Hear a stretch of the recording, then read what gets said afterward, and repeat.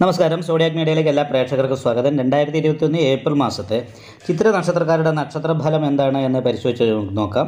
ചിത്ര നക്ഷത്രം ആദ്യത്തെ മുപ്പത് നാഴി വരുന്ന കന്നിക്കൂറിലും ശേഷം മുപ്പത് നാഴി വരുന്ന തുലാക്കൂറിലുമാണ്. അപ്പോൾ കന്നിക്കൂറുകാർക്ക് ഇപ്പോൾ ഏഴിൽ ചാരവശാൽ വ്യാഴം സഞ്ചരിക്കുന്ന സമയമാണ്. അതുകൊണ്ട് തന്നെ നല്ല ദൈവാധീനമുള്ള സമയമാണ്. ചെയ്യുന്ന കാര്യങ്ങൾക്കൊക്കെ അനുകൂലമായിരിക്കുന്ന ഗുണഫലങ്ങൾ അനുഭവിക്കാനായിട്ട് യോഗമുണ്ട്. ഏപ്രിൽ മാസം ഇരുപത്തി ഒന്നാം തീയതിക്ക് ശേഷം കന്നിക്കൂറുകാർക്ക് അഷ്ടമത്തിലേക്ക് വ്യാഴം മാറും. എന്നാൽ തുലാക്കൂറുകാർക്ക് അഷ്ടമത്തിൽ ഏഴാം ഭാവത്തിൽ ആറിൽ നിൽക്കുന്ന വ്യാഴ ഏഴിലേക്ക് വരും. അപ്പോൾ അത് കാരണം കൊണ്ട് ദൈവാദിനം വർദ്ധിക്കും. അപ്പം ദൈവാദിനം വർദ്ധിക്കുന്നത് കാരണം കൊണ്ട് തന്നെ ചെയ്യുന്ന പ്രവർത്തിക്ക് തക്കതായിരിക്കുന്ന ഗുണങ്ങൾ അനുഭവിക്കാനായിട്ട് സാധിക്കും. തൊഴിലിന്റെ കാര്യത്തിൽ അനുകൂലാവസ്ഥ ഉണ്ടാകുകയും ചെയ്യും. കന്നിക്കൂറുകാരെ സംബന്ധിച്ചിടത്തോളം കർമ്മ കർമാധിപതിയായിരിക്കുന്നത് ബുധനാണ്.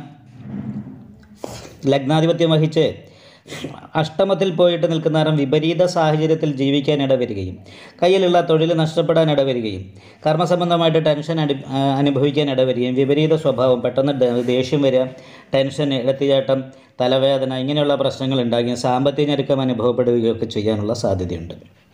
എന്നാൽ തുലാക്കൂറുകാരെ സംബന്ധിച്ചിടത്തോളം ഇരുപത്തി ഒന്നാം തീയതിക്ക് ശേഷം ഇങ്ങോട്ട് ചെയ്യുന്ന പ്രവർത്തിക്കത്തക്കതായിരിക്കുന്ന ഗുണങ്ങൾ അനുഭവിക്കുക കർമ്മസംബന്ധമായിട്ട് ഉയർച്ചയുണ്ടാകുക അതേപോലെ തന്നെ ദൈവാധീനം വർദ്ധിക്കുന്നത് കാരണം എന്ത് ചെയ്താലും അതിലൊക്കെ നേട്ടങ്ങൾ ഉണ്ടാകുക തറവാട് സ്വത്ത് കൈവശം വന്ന് ചേരുക.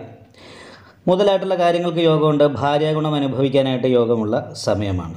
അപ്പോൾ ഈ പറയുന്ന ഗുണഫലങ്ങളൊക്കെ അനുഭവിക്കണമെങ്കിലും അതിന് ദശാസംബന്ധമായിരിക്കുന്ന നല്ല സമയം കൂടി ആയിരിക്കണം.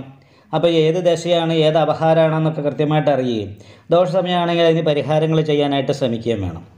അപ്പോൾ നിങ്ങൾക്ക് നിങ്ങളുടെ ഏത് ദശയാണ് ഏത് അപഹാരമാണ് മുതലായിട്ടുള്ള കാര്യങ്ങൾ ജാതകത്തെക്കുറിച്ച് വിശദമായിട്ട് അറിയണമെന്ന് ആഗ്രഹിക്കുകയാണെങ്കിൽ നിങ്ങൾക്ക് എന്റെ വാട്സപ്പിലേക്ക് മെസ്സേജ് അയക്കുകയോ നേരിട്ട് വിളിക്കുകയോ ചെയ്യാവുന്നതാണ്.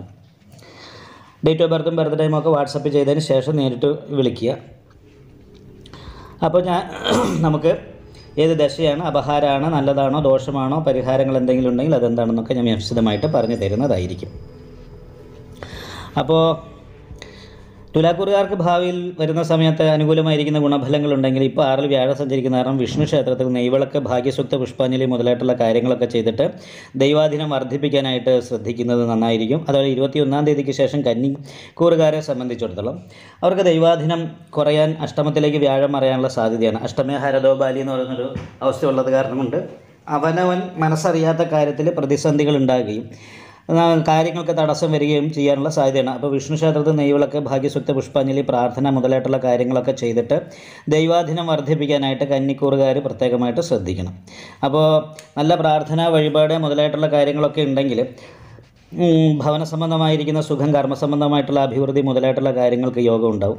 പുത്രഗുണം അനുഭവിക്കാൻ തുലാം കൂറുകാരെ സംബന്ധിച്ചിടത്തോളം നല്ല യോഗമുള്ള സമയമാണ്. മക്കൾക്ക് പിന്നെ വിദേശ പഠനം അതുപോലെ തന്നെ ജോലി മുതലായിട്ടുള്ള കാര്യങ്ങൾക്കൊക്കെ അനുകൂലമായിട്ടുള്ള സമയമാകാനുള്ള സാധ്യതയാണ്. കന്നിക്കൂറുകാരെ സംബന്ധിച്ചിടത്തോളം അഞ്ചാം ഭാവാധിപതി ആറിൽ നിൽക്കുന്ന കാരണം മക്കളുമായിട്ട് മക്കളുടെ അഭിവൃദ്ധി കുറവ് കൊണ്ട് മാനസികമായിട്ട് ടെൻഷൻ അനുഭവിക്കാനായിട്ട് വരിക കർമ്മതടസ്സം പോലെയുള്ള കാര്യങ്ങളുണ്ടാകാം ഇങ്ങനെയുള്ള കാര്യങ്ങൾക്കൊക്കെയാണ് യോഗമുള്ളത് അപ്പോൾ അത് കാരണം കൊണ്ട് ക്ഷേത്രത്തിൽ യഥാശക്തി വഴിപാടൊക്കെ ചെയ്യുക നല്ല പ്രാർത്ഥനയൊക്കെ ഉണ്ടായി ഉണ്ടാകണം.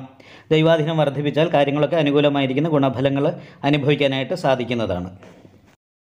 നിങ്ങൾക്ക് ഈ വീഡിയോ ഇഷ്ടപ്പെട്ടാൽ ലൈക്ക് ചെയ്യുക. നിങ്ങളുടെ അഭിപ്രായങ്ങൾ കമന്റ് ചെയ്യാം. ജ്യോതിഷവുമായി ബന്ധപ്പെട്ട കൂടുതൽ കാര്യങ്ങൾ അറിയാൻ ഈ ചാനൽ സബ്സ്ക്രൈബ് ചെയ്യുക. ഞങ്ങളുടെ ഓൺലൈൻ കൺസൾട്ടൻസി നമ്പർ താഴെ ഡിസ്ക്രിപ്ഷൻ ബോക്സിൽ കൊടുത്തിട്ടുണ്ട്. ആവശ്യമുള്ളവർക്ക് കോൺടാക്റ്റ് ചെയ്യാവുന്നതാണ്.